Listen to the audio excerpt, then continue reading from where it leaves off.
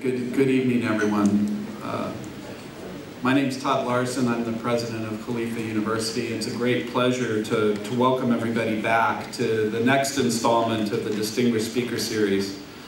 I think as many of you know who've participated in this in the past, what we try to do through this series is kind of highlight interactions between technology and society, uh, and particularly maybe to highlight some of the issues and potential solutions for those uh, that, are, that correspond to critical challenges in the world today. Subject of my talk this evening is success and failure. They are not always linked, linked, but today I'm going to uh, link them in, I hope, a convincing way.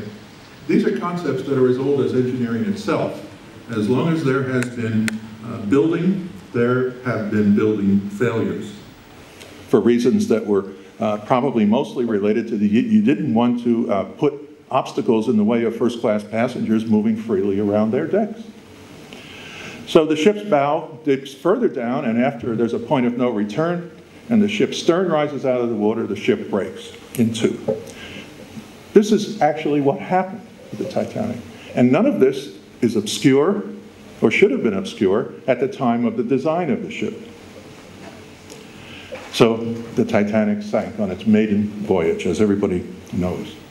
But it wasn't because there was an overconfidence that this ship is not going to hit an iceberg, the ship is not going to get a, a, large hole in its hull, and so forth and so on. Also, uh, this bridge, which spans the same distance, about 500 feet here, this, this bridge uh, accomplished the same uh, technical uh, uh, challenge that the other one did.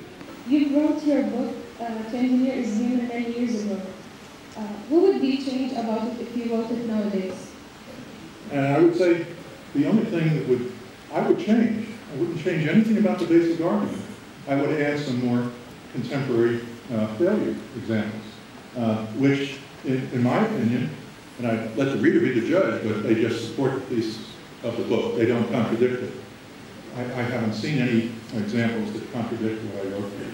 Yeah, very good. I'd like to ask the audience to join me Can you tell us what is the significance of having such lectures open to the public? Well, well, thank you. I'm very happy to be here. Uh, I've, I've, enjoyed my visit. Uh, I like to have these lectures open to the public because I think the basic ideas of engineering, that especially those that I'm talking about, are really accessible to the public, and I think it helps them understand engineering and the problems that engineers face. Well, I, I think my lecture is not the kind of lecture I would give to a class in a, in a formal course. It, it, it tries to look at a bigger issue, uh, overarching uh, issues that span a lot of different aspects of engineering. And although I spoke about bridges, I spoke about largely civil engineering structures, the underlying lessons are meant to be more general than that. And so bridges are more, more a metaphor for uh, engineering designs generally. And I think usually my experience has been usually the audience can make that transition to their own specialty. Well, I think you know, civil engineering is, is really as old as history is. I mean, it's, it's a very old profession and it's what made civilization possible. So the relevance of, of uh, history to civil engineering today is that we learn about how things were done in the past. And as I tried to say in my lecture, I believe that the methods of design, the process of design, is essentially timeless. And the ancient engineers followed a process that's very similar to ours, which is namely at first somebody gets an idea, a concept, a flash of inspiration. It's very, very akin to art in that way. It's just like an artist or a writer, a poet, getting an idea and then having to work out the details. Uh, these poems, artworks, they don't come out of the blue uh, totally finished.